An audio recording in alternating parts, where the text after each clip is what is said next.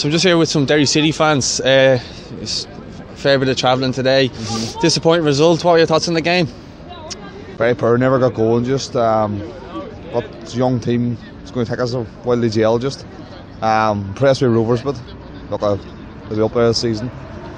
I thought they looked uh, kind of streets ahead uh, from the get from the early get going. I suppose you could say that, uh, Derry. I know they were putting in some fierce tackles. I suppose you, you you wouldn't be too disheartened about that. But from a footballing point of view, they didn't really sh- seem to show much, in my opinion. Anyway, what did you think? That's disappointing. Disappointing. Uh, it's uh, they were Rovers are miles ahead of them, and like, it's it was uh, they looked good against UCD last week, but you, you can't really take much from like, team t- playing against teams like that. But I think Rovers will be right up there this season, right up there.